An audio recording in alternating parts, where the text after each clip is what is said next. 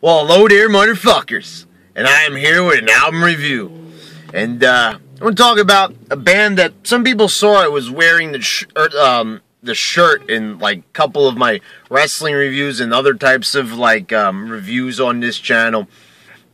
And uh, I want to talk about that band right now. That's Goatwhore right there, a haunting curse.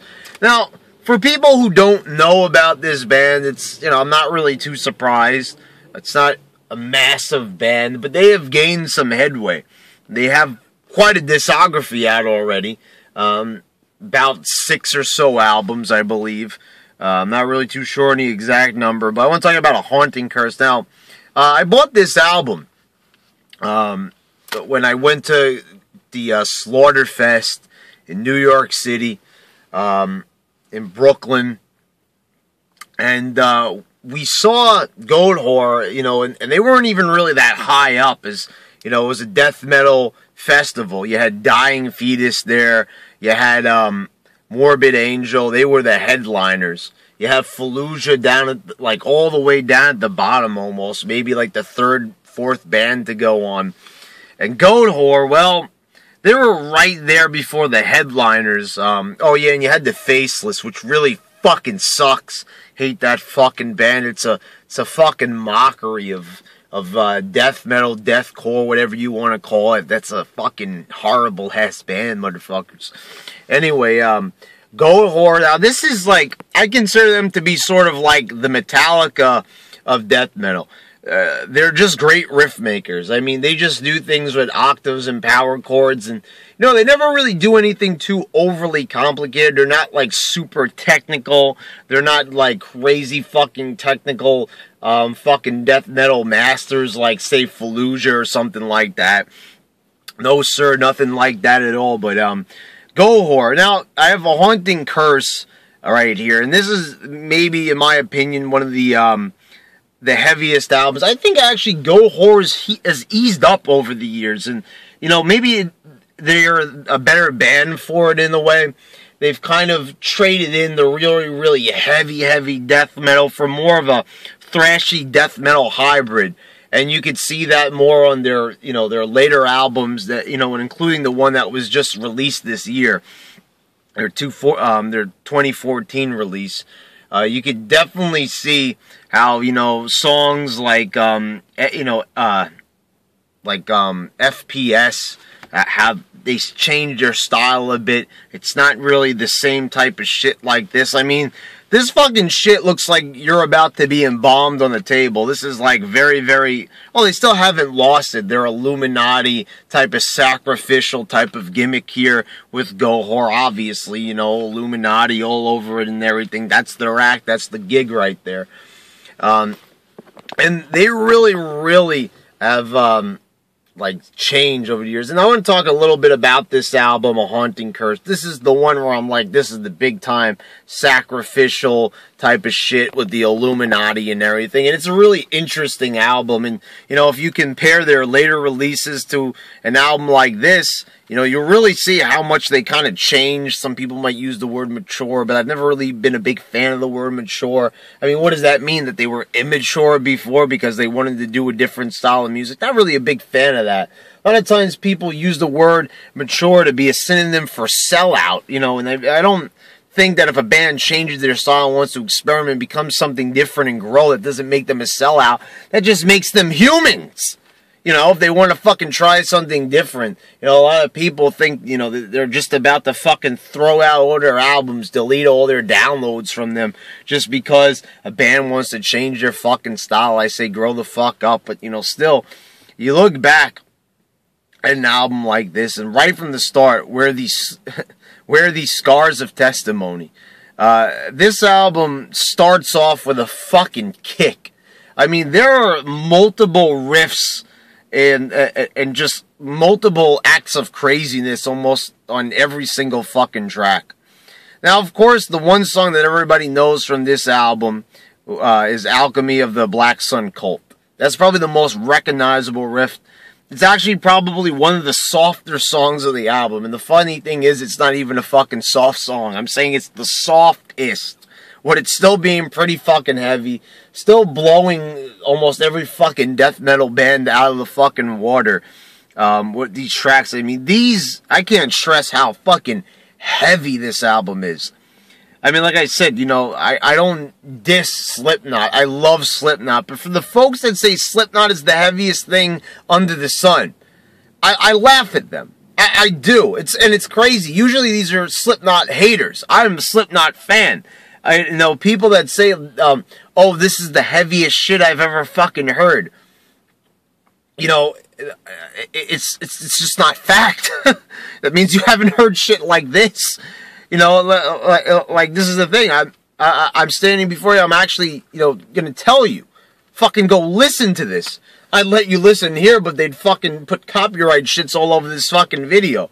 I'd love to give you examples. I mean, just go on YouTube, type their names in, type in Alchemy of the Black Sun Cult, type in Where These Scars of Testimony, type in any of these fucking songs all over this fucking album. I mean, just look the, listen to the fucking names of the fucking songs bloodletting upon the cloven hoof. I mean, come the fuck on. My eyes are the, are the spears of chaos and the narrow confines of defilement forever consumed oblivion. I mean, come on. Uh, you just fucking hear the names of the tracks, and you don't even have to hear the fucking songs, and you know it's fucking heavier. Like I said, this is like fucking. I, I listen to this album I, I, and I picture somebody being fucking embalmed, somebody fucking impaled by a spear. It's like getting kicked in the fucking face repeatedly. It's like fucking Randy Orton punting you in the fucking head. It, it, it's like all that shit happening at once. It's like uh, two fucking rednecks with shotguns on both sides of your head about to blow your fucking brains out. But before they can fucking blow your brains out, somebody's standing there with a fucking spear and they charge at you, impaling you in the face. And as you're impaled in the face, both fucking rednecks with the shotguns on both sides of your head pull the fucking trigger. And your fucking head is fucking jelly. It's nothing. It's not existent.